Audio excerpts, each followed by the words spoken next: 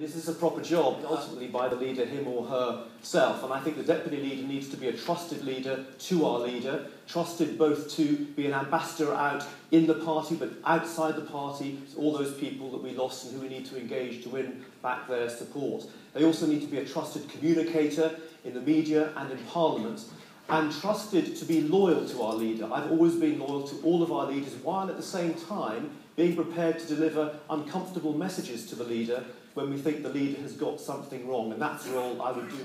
And those who voted Tory last time, but for those who didn't vote at all last time, and the deputy leader's got to allow them to do that, but keep the party close. I think the deputy leader has to be a campaigner in the country, uh, a, a change uh, agent within the party itself. How um, the candidates think we can engage with the young particularly those young lady discos at the forum is going to cut it anymore. Um, and, and, and also, I'm not the person that should be deciding how we strategise with young people, even though I did move the resolution at the 1992 conference to create Young Labour. But I'm now self-defining as middle-aged, uh, and I know there's a revolution going on, uh, and I, I genuinely worry about the next generation of young people entering the labour market. P. Hustings uh, two weeks ago now was that we needed to have more fun in the Labour Party. Uh, more parties, fewer meetings. Uh, but seriously, I do think we need to change our culture as a party to be more attractive to young people. Uh, I have a membership of over 700 in Exeter. We had the best group of young people working on my campaign. In this deputy leadership and leadership campaign, it's an opportunity for us to do so. Let's grasp it. So I don't know... Uh... Just don't talk the talk and uh, walk the walk as well. But look, um, I think we should stop patronising young people and treating like them all like they're all the same. Um, I have three children in their 20s, and uh, so I have my own little focus group, if you like. There are some young people, for example, who aren't actually getting the sort of support they need in education to do some of the jobs that are still dominated by the middle classes. And that's something we really need to address. I think social mobility is stalled in this country. Wherever they come from, I think basically they want the same as some of us who are older. They want to know where they're going, how they get there, and how we're going to support them. And that's something we should recognise isn't just a one-size-fits-all. Politics is for them. They don't see how it changes anything, and we don't have structures that relate to them. I don't think our structures relate to any age group, actually. I was thinking about these 50,000 people that have joined the Labour Party. Since we lost the election. And all we've got to offer them, unless we change our culture, is more GC meetings. How we should be doing things, not tell them how we do things in the Labour Party. There's fantastic work. It's what I did before I got into Parliament. One of my young charges downloaded my picture from the internet, sent it over to me, having airbrushed it, and said, use this in your leaflets, it will be better. Only a 15 year old boy thinks that's helping a candidate. But also, as a former youth worker, I know you have to give responsibility to get responsibility. I was lucky enough to be part of this region growing up, and the first place in Colchester that I got support to be involved in the Labour movement was when they encouraged me to stand for local council just at the age of 21. It wasn't just about saying, Stella, you could do this. It was about the support, the mentoring, and the network. See what? Uh, Mike, just behind you. Um, I actually asked two questions, so I'm not too sure which Oh, one. this one's about... Cheeky. Right, so this one's about party funding reform and big money in politics. Okay. Um, the Conservative Trades Union Bill will unilaterally alter the way trade union fund the Labour Party and bring to an end the convention that cross-party consensus is required for party funding reform. With this newfound freedom from the convention, what will you do to get big money out of politics once and for all? And that question first to Ben, please. Well, I think we need to have an honest, honest conversation about how we fund political parties in this country. We're the only country in, in, in Western Europe that uh, has so little, we have a little bit, but very little uh, public funding for political parties. I think we should continue to talk about that. I don't think it would be very popular, but it doesn't mean to say we shouldn't talk about it.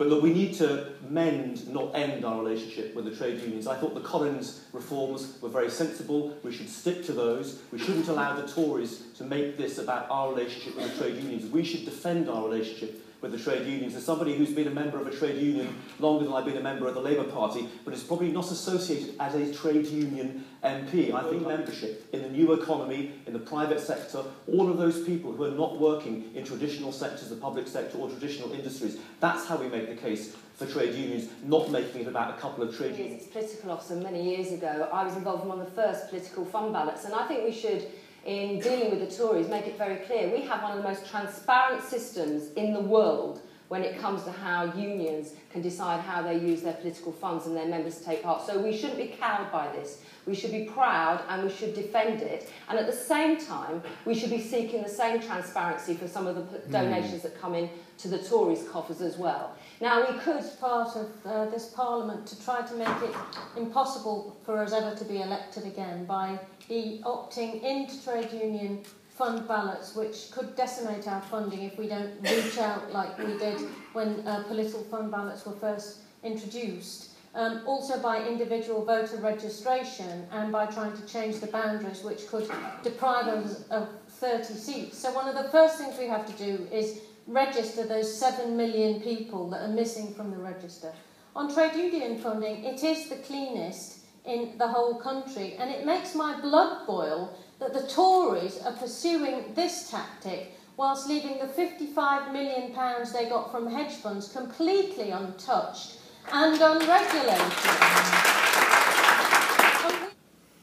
Uh, one of the things I really think we have to do is change the record about what role the trade unions play in this country. Trade unions gave us weekends. They campaigned for the working week. I'm really proud to have worked with trade unions on the campaign against legal loan sharking. Both Unite and Community helped me organise with local people to make the difference to credit unions. I'm also very mindful that Adrian Beecroft, who was one of the central funders from Wonga, was also giving money to the Conservative Party. So I'm not going to take any lessons from this government about the role of trade unions or about the role of party funding. I do think there is something for us as well about how we link our funding to our campaigning. One of the things I'm very mindful of is all of you will be organising fundraisers in your local community to help Labour. I think there's more we can do at a national level in the way in which we use our funds to support that. Why don't we have Kickstarters for local parties? Why don't we, when you use a Just Giving site for your charitable giving, have a way of working?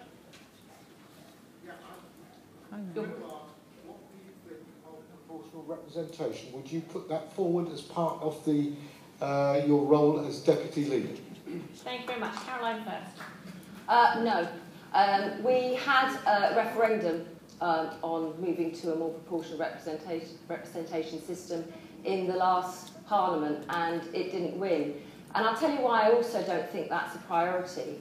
Because it's not going to happen in the next five years. What we need to do is win in 2020 on the dice that's thrown us now. And I firmly believe if we take a different approach, an approach that actually reaches out in the way we won elections in the past under the first past the post system, which is about a broad-based coalition across classes, across communities, across the UK, one that speaks to those working class and middle class people in the centre ground. To vote in uh, our internal leadership elections. In, indeed, this election is being run on the alternative vote, and when the referendum happened, I voted for it. But I recognise and accept that the country didn't. I think that it's far more important to make politics accessible and make voting easier. So I would certainly make our register a lot better, but I recognise that the uh, Tories don't want that to happen. They're quite happy for 7 million people to be left off the register. So we have to campaign to find those missing people and get them back. Don't engage uh, with uh, our electorates. It's about party membership reaching out, it's about changing the culture, it's about trying to take our politics into every community. And so, uh, with that, I think that we can make a difference rather than blame the electorate. Not because I think it makes a single person vote, the evidence isn't there for it. I just think we're Democrats as well as socialists. Uh, my personal preference is AV. But actually, one of the things I also recognise is there's a much fundamental, more fundamental disconnection in British society about politics. People haven't trusted politicians for generations. Now they think we don't make a difference, and that is much more toxic because then, whatever the political voting system we have, they don't feel it's worth their while to participate. As a union official, I set up a group called the Labour Campaign for First Past the Post, um, and I've been on a bit of a journey though, because uh, I actually voted yes for AV in the referendum. Uh, and I did so because I was worried about politics becoming too narrow. This, this debate we have about pol- the politics of the centre ground, I think has stifled a proper democratic expression in this country. And, and if you, but the truth is, we're not going to have PR in the next five years. You've got a prime minister and a government that are implacably opposed to it. So the response to that, I think, has to be to broaden the big tent And the, the, the great success of Tony Blair and Gordon Brown in the 94 to 97 years was they made the Labour Party a welcoming place for Jeremy Corbyn and Peter Mandelson. And we won an election when we were united with differing views but with equal respect for those views. And I'm not going to resile from that position just because I'm running for the deputy leadership, although, of course, I will support whatever is our official uh, party policy. I will continue to argue for it, however, because if you look at the map of the UK after the, the last election, Scotland is a virtual one-party state, although the SNP got less than half the votes. More helpful uh, for parties at below regional and uh, higher than CLP level, I think. Um, the templates that we had in the election were too. Uh, they, they just didn't work very well. They weren't flexible enough, and yet our parties were paying for them and they couldn't really choose what they were doing. We have to listen much more to what our parties want. We have to ensure that people at, uh, say, district level have the capacity to write their own leaflets much faster to respond. If Anne was here, I'd want to ask her opinion because the truth is, this starts with our people. It starts with our people being our best assets and us working out how we can skill and equip them to be the best voice for Labour in their local community. And that is going to be different in different parts of the country. So whilst I know what we've done in Walthamstow to build a mass movement of people out there speaking up for Labour, I know it's going to be different around the country. Uh, I've been going around the country running skills development and capacity building workshops to help us be a party of 250,000 leaders in every single community. And I think we have to do a lot more of that tailoring it to our local communities. Tailoring Candidates at the general election I've met Sharon Taylor. I don't know whether Sharon's still here. And she had the best organised party. She had the best print room I've seen. I've seen in the 109 visits to constituencies, and the members did the work. But it's not the case in all parts of the country, and I think the party headquarters can help those members that need to need extra support.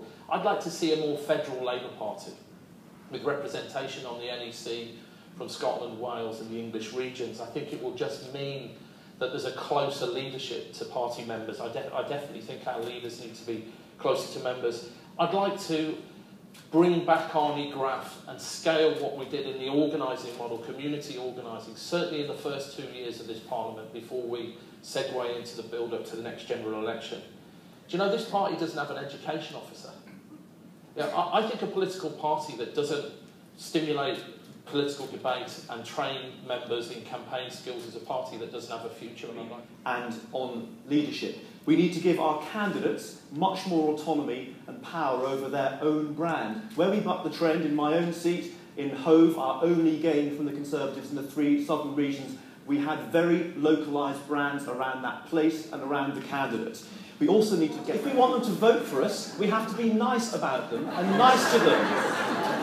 And we have to be welcoming, we have to offer, offer an open, inclusive, and pluralistic politics, not a tribal one that makes us think that we're always right and they're always wrong. Sure that UKIP were kept in uh, third place. And that was a mixture of the doorstep work, not just asking people how they're voting, but over years doing community surveys and other works, but also it's when you get it to the payback from some things you've done as an These MP or as a councillor, where someone says, you helped me out with this, or you helped us get 20 miles an hour outside our schools, and the Labour Party was there working with the community as well. So we need to think about that. But I would say, as someone who's been in the party, we're very good at having big consultations. Remember refounding Labour? I mean, there's a book on a shelf somewhere. have we ever really looked at what the outcomes of that have been across our party? Are you here, Jim Callaghan? I'm getting kind of reachable it. Uh, the, the other Jim Callaghan, as we refer to him, may have already had to leave because I know some people have, so I will read out his question. Um, there's no ignoring the influence of the media in shaping public opinion. What, if anything, will you do to win over the right wing? Talk and think about politics is changing. And actually, one of the things that really challenges a lot of us is that conversation isn't happening with us. You are our best defence against the things that Richard Littlejohn will say because you are there with people to be able to counter what they say. So actually one of the things is how do we empower our membership to feel confident to speak up for the values and the issues. I'm a candidate, if I'm being honest. I really, I really not. But we do have to have a professional relationship with quality journalists, and I do think we need to give something back to journalism post Leveson.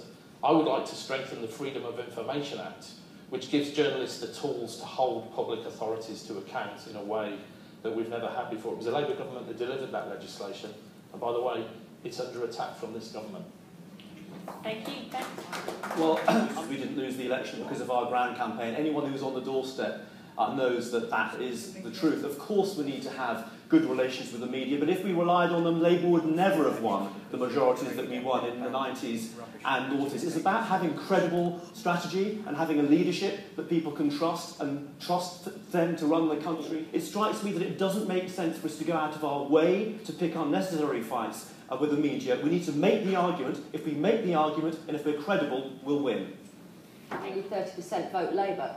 So we shouldn't always assume that sometimes that people that read these newspapers do it for the political content. It could be just for the racing pages or the sport. And like Ben, um, I don't believe you know we lost because of the media. What we've got to do is try and make it difficult for them to ignore us and what we're saying. And the truth is, is that you know for most people, it's not the print media that they are looking to for their information these days. It is news at 10, it's online every single week. There were six letters in the local paper from someone associated with UKIP, and I'm seeing some nods around the room, so it sounds like it was happening in the eastern region as well. So we've got to make sure our message is good. We should. This is an honourable craft. And um, so I agree with Ben about that. Uh, and I think we should say so. There is great journalism and there is horrible tabloid propaganda sometimes. But I think we worry too much about it. The sales of newspapers are plummeting through the floor uh, at the moment as people get their news from other places, and the media is diversifying. So we always have to be engaged.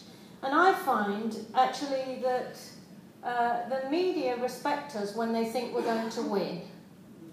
Now, they may try to um, throw us off guard, they may try to put us through the usual Tory uh, propaganda mincer machine, and we shouldn't underestimate the, the effect that things like Benefit Street and the poverty porn on television have had on people's views.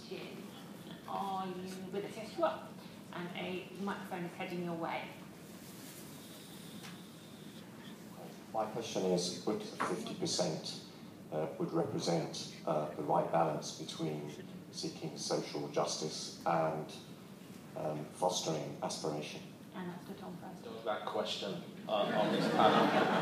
Uh, uh and I'll tell you what, I'll tell you what, the most important job after leader of the Labour Party uh, is not actually the deputy job. It is the shadow chancellor of the exchequer. Mm. By the way, I have a hunch it, it could be a woman that's going to do this job, and I think uh, we've got some very capable women that will be able to do it.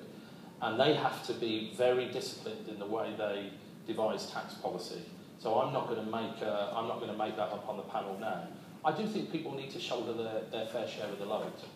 And I think we need to say to, I still think in the election we were right to say to that small number of global corporations, if you want to trade in this country, you should play, play by the rules and fair pay. I don't think it should be a sign of our virility as socialists that it should be there forever. If you look at it and compare it with other Western European countries, it's, it's, it's on the high side compared with others. And I think there are many voters in your constituency. I was born and spent my first four years in Harpenden, who, if they don't pay that rate, they aspire to, they own property as well. to attack the government over cutting the top rate was the right thing to do because it was about sharing, you know, the situation with the deficit and, you know, trying to balance the books. But I think, you know, looking to the next election, I don't think any of us can clearly put out today what the outcome should be for that in terms of taxation. What I think we should be looking at, for example, is that we have a really complicated tax system. There are hundreds, if not thousands, of tax allowances that businesses of various, various forms can take advantage of. I'd like to strip that away and have a look at what tax allowances are really important to help jobs and opportunities for young people from businesses to grow and make it a lot simpler. But I do think, you know, part when we have a deficit to pay off, that justifies those that can bear a greater share of the burden doing so, but not necessarily forever. We have to have tax rate, actually what we should do is judge it on two criteria. How much does it raise and who's affected? Andrew is right to talk about people being dragged into different rates of tax and that being something that we should be aware of. Secondly, that I came to eight out of the 13 target seats in this area and talked to people on the doorstep across this region. Nobody mentioned tax rates, but they did mention their worries about the future and whether they could afford things. And hardly a month goes by without news of yet more unethical behaviour from banks, Do you agree that the banks are still insufficiently regulated, and what would you do to correct this? And that question goes first to Ben. Yes, I do agree that they're still insufficiently regulated, although I think the Independent Banking Commission did a, a reasonably good job in the last Parliament about make, making recommendations. It's just that the current government doesn't seem to show any inclination of implementing it in full, so we have to keep the pressure on that. But I think what we also need to do is accept that effective uh, regulation, not just of the banking system, but of global corporations, can only take place on a supernatural, uh, supranational level. And that's why retreating from the European Union, retreating from the international community, not having friends on the continent or in America makes it much, much more difficult for us to make the case. This week, I think it was, is that actually the, uh, the Tory government has decided not to take part in a European-wide uh, effort to ta uh, tackle tax avoidance. And whilst that's not strictly about banking, I think it goes to something what Ben was saying about there are some things bigger than one country where we can actually achieve a lot by working with others because finance is global, as we all know, business. Still, it's the case we're not getting the services we need in our communities. I've just had one of the banks in one of my many villages shut down HSBC just before the start of this election. The, all the businesses in that place, Tick Hill, are saying that was our bank. That is where we went. Where's the personal banking? Is almost a utility in the modern um, uh, economy. But investment banking is a form of gambling. And the mis-selling that went on of, of PPI, of mortgages, and then the uh, manipulation of Forex and some of the um, international interest rates is a disgrace. And what has happened is that these traders have been allowed to privatise the massive profits that they've made from this behaviour, and they've actually nationalised the huge debts that have been left as a result. And I think that that is why there is such anger in this country about what happened in the banking crash. Ask yourself, would you have seen a Labour Chancellor going to Brussels to fight for bankers' bonuses but being silent on the financial transactions tax? There is a very clear, different alternative way that we can have our financial industry work, not just in Britain, but around the world. Only Labour can speak up for that and the difference that it can make. In the last Parliament, was that Labour's investment in schools and hospitals created the banking crisis. And if you ask Labour Party members, and I've been talking to them up and down the country, they will say that we lost the general election in 2010 in the first six months because we failed to nail that line. And I think our response has to be we need to make sure that that lie is nailed. Uh, thank you for letting me get that in. I think that we need to be a very bold party and say that where markets are failing, we are prepared to regulate. And that is still true in the City of London.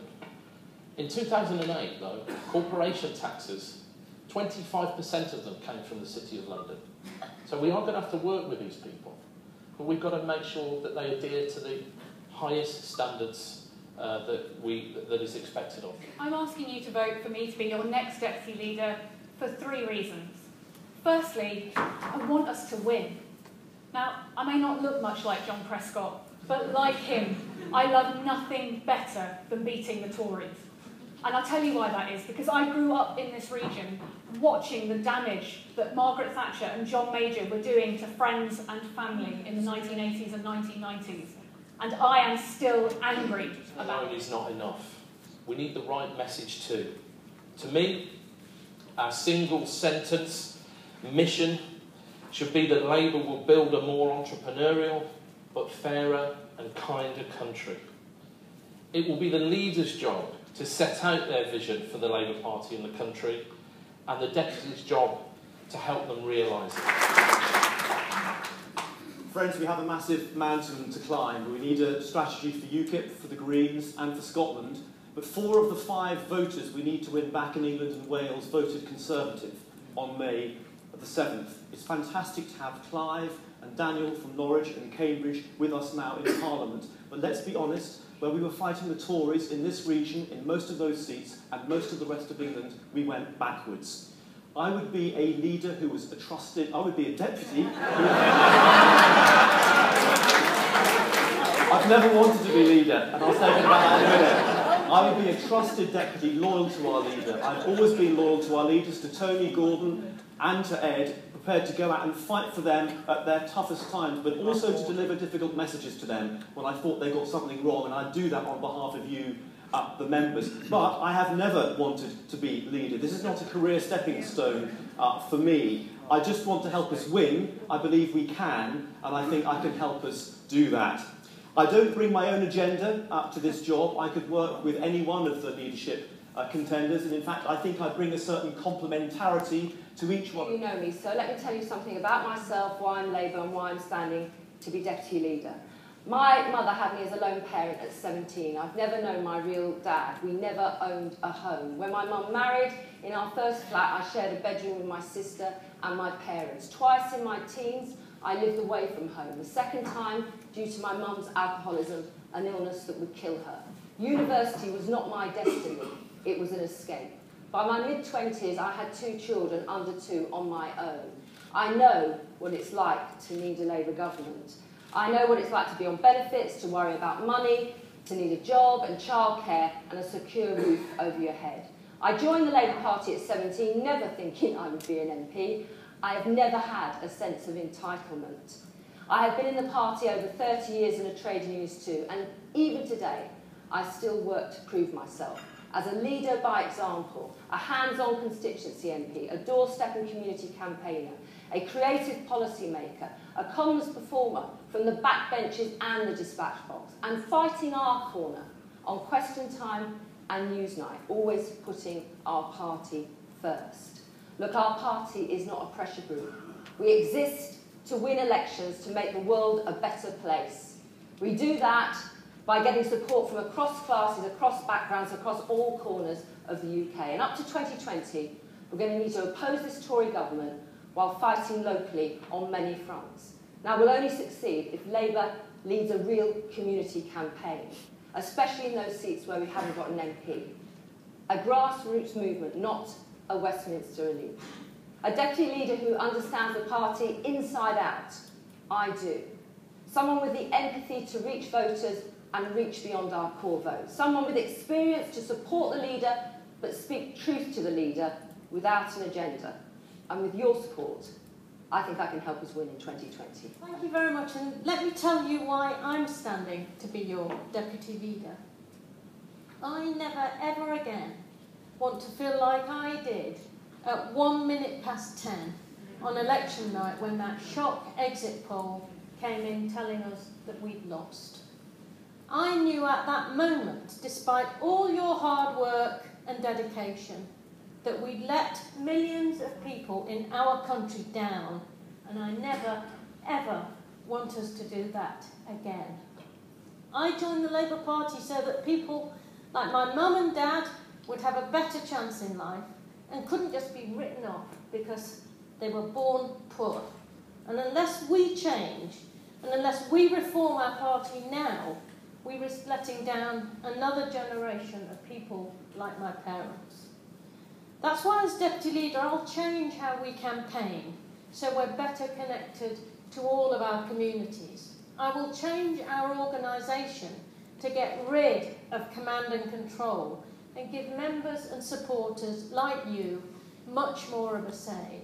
And I will never be afraid to tell our leader if they're getting it wrong but I won't be doing it on the front page of a newspaper. Mm-hmm. If you elect me, I promise that you'll always know where I stand. I'm proud to come from a working class family. My upbringing shaped my politics and gave me my fighting spirit. I'm a proud trade unionist, and I will always fight for the voice of workers to be heard louder in our party and in the country. And I'm proud to have fought to get more women, Labour women, into Parliament. I will never stop fighting for equality. David Cameron may have told me to calm down, dear. but I promise you I will never calm down while the Tories are in government.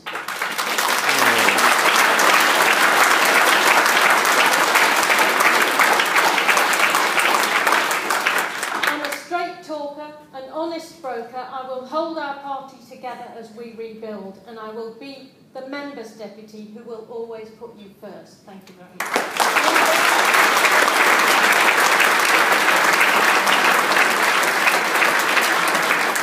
Thank you very much to all five of our candidates.